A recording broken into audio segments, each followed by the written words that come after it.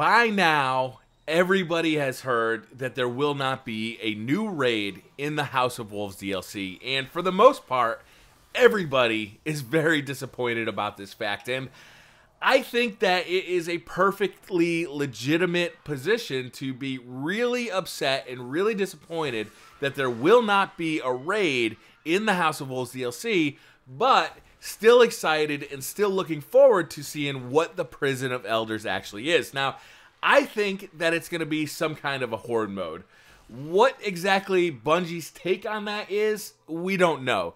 Uh, it could be, you know, we could get kind of Nightfall style modifiers that change up weekly to kind of keep the content fresh. You know, Bungie's come out and said that replayability is going to be one of the keys to this, which Destiny sorely needs. Any kind of content that Bungie can put into Destiny that has more replayability would be a blessing. And even the raids I find to get they get pretty old after a while. You know, running Crota's End on hard mode for the 80th time has got my raid group pretty pretty ready to quit. You know, pretty ready to not be doing Crota's End anymore. And that's one of the things uh, that is so disappointing. Our raid group was really looking forward to the House of Wolves raid. We we thought it was coming. You know, it was it was leaked, right? The content was definitely going to come. We know that because of the leaked images.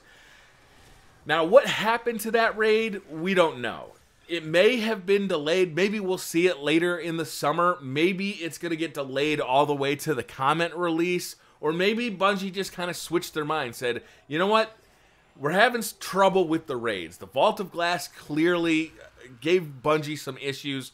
Crota End again did the same exact thing. Maybe they just wanted to take some more time with new raids, and it'll come out with the Comet expansion. And this is kind of the the thing that is going to sati- satiate us over the summer.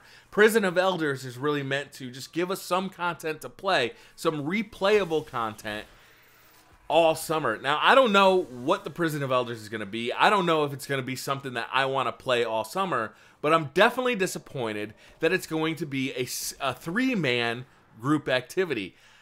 My six man raid group is basically going to dissolve. And that makes me really sad because this is a group of guys that I had a ton of fun with over the last few months. A, a lot of fun. And, you know, let's be honest with, e- with each other. Crota's End was not the raid that Vault of Glass was. I enjoy Crota's End. I think it's a fun raid, uh, but especially on hard mode, it's just not as interesting to play as the Vault of Glass. There's not as many moving parts.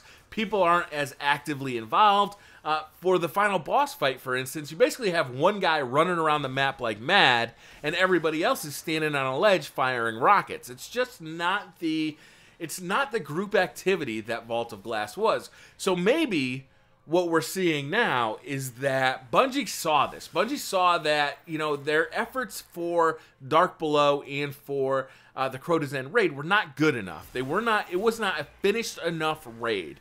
And they have decided that, you know what, we need more than three to five months to actually put one of these together in a way that is really going to satisfy our community, which is respectable.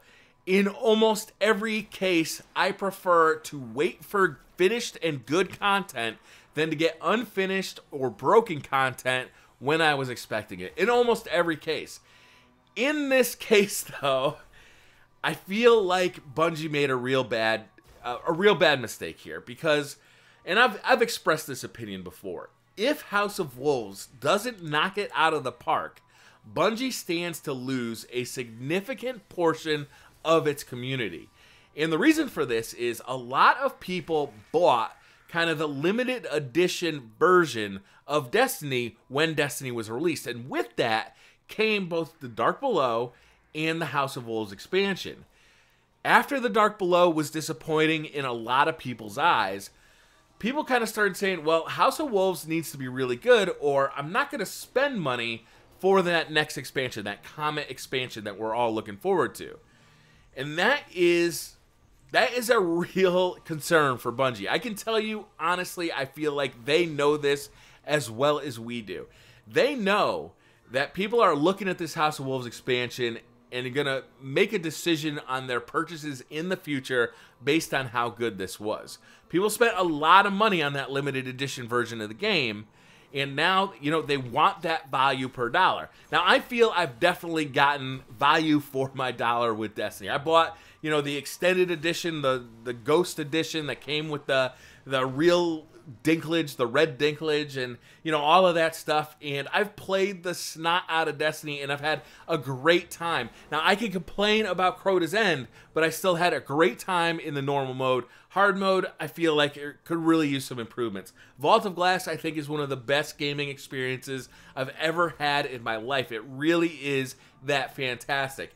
I love playing this game. I think the shooting feels perfect. You know, the the different the different ways the Guardians react, you know, the different powers they have is really fun. I love the PvP aspect. I think that's great. I think it's only going to get better as this game goes along, too. The improvements they've made to PvP are fantastic, uh, and they just keep piling on these improvements and now we're soon going to get private matches which is even better so i mean i can't i can't complain about the value i've gotten but i can definitely see why people are upset that you know there is no raid in the House of Wolves and how that can influence their purchasing decision in the future. If Bungie's not giving me what I want now, why should I give them more money later? I've already given them, let's say, $100 for the limited edition of this game. I've prepaid for the Dark Below content and for the House of Wolves content, and I was not satisfied with either. So, what makes me think, what makes Bungie think that I'm going to be satisfied when Comet comes out and they they expect me to re-up, repay money for more Destiny content when I was not satisfied with the content that I've already paid for. And I think that's where Bungie's position is.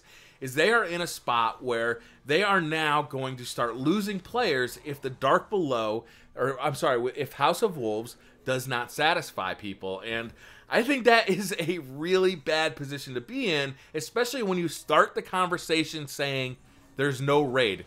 The thing you're looking forward to most is not happening. So we don't know. You know, maybe we'll get the House of Wolves raid later in the year. Maybe it just isn't ready. Maybe it's just delayed. They want to get House of Wolves out, but it's just not ready right now. So they'll release it maybe in July or August. We'll have to see. You know, I am I'm not in the know of what Bungie is up to, but I certainly hope they've got a plan that goes past where they're going now. So that's going to do it for this video. Thank you very much for watching. Hit that like button if you liked the video. Hit subscribe if you're new to the channel, and I'll see you guys next time. Bye.